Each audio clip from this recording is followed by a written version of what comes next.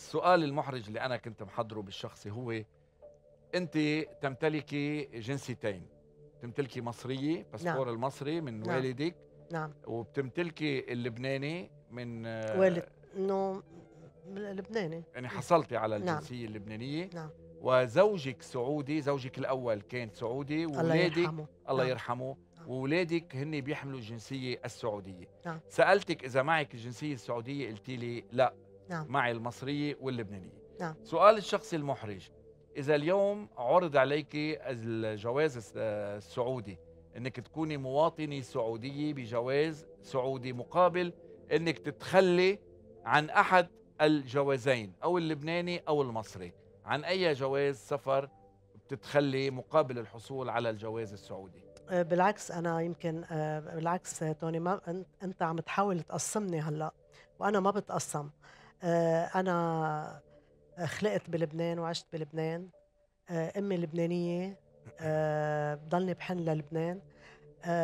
بيي مصري بحنّن لمصر، لمّا نروح على مصر أحيانًا بابكي إنه وين بيي خلق، وين تربّى، باروح بزور محل ما بيي جذوره من الزقازيق، ولادي سعوديين، يعني أنا ما باتقسّم، أنا روحي بالسعودية، آآ قلبي بلبنان، وعق وشو بدي أقول لك آآ آآ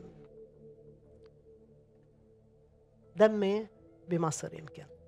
فما باتقسّم أنا، بالعكس أنا إلي الشرف إنه يكون عندي الجنسية التالتة اللي هي السعودية، إلي الشرف كبير، طيب إذا وإلي شرف إنه يكون معي 3 إذا جنسيات، كانت هذه الجنسية مبنية على استغنائِك عن ال الجنسيتين، أي أسهل تتخلّي عنها اللبنانية والّا المصرية؟ اللبنانية ما فيني ما فيني أستغني عن بيي ولا فيني أستغني عن أمي، ولا فيني أستغني عن ولادي، هيدا سؤال ما باقدر جاوبك عليه توني، ما في أستغني عن هدول ال3 تحياتنا لهم جميعا. تحياتنا للسعودية لمصر ولا كمان أهلنا بلبنان. حبيبي. وننتقل إلى اختيار محرج.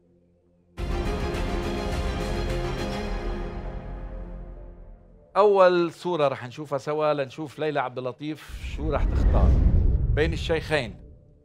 بهاء الحريري وسعد الدين الحريري من تختار ليلى عبد اللطيف مين باختار؟ مم. فيني أقول لك شغلة؟ قولي أنا بشوف الإخوة ما رح يتخلّوا عن بعض، أنا بشوف مصالحة بين الشيخ سعد والشيخ بهاء، وبشوف آآ وين وين الدور اللي بيكون فيه الشيخ سعد لصالح لبنان بيعملوا، ووين بيكون الدور للشيخ بهاء لصالح لبنان بيعملوا، لمين الدور؟ اثنيناتهم رح يشتغلوا لصالح لبنان، نعم. أنا هاي باقول لك إياها من الآخر، الشيخ بهاء رح يشتغل أشياء كتير بس ونشاطات كتير. سؤال هل رح نشوف بهاء الحريري آه، رح يلعب دور سياسي بلبنان؟ يومًا ما نعم، ليه لأ؟ نعم. ممكن نشوفه رئيس حكومة؟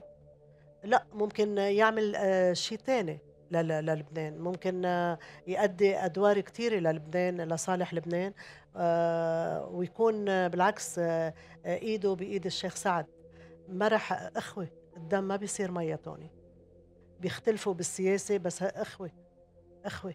سنة ال 21 على مين برأيك رح تكون أفضل؟ على سعد ولا على بهاء؟ آآ ما أنا عم باقول لك 2 لأنه 2 ب باشوفهم عم بيشتغلوا أو رح يشتغلوا، وفعلًا الشيخ سعد آه، بجدارة رح بال2021 رح يشتغل، والشيخ بهاء رح يشتغل بس آآ آآ الشيخ سعد هيك والشيخ بهاء هيك، يعني كل واحد شغله بس اثنيناتهم بيصبوا بصالح لبنان.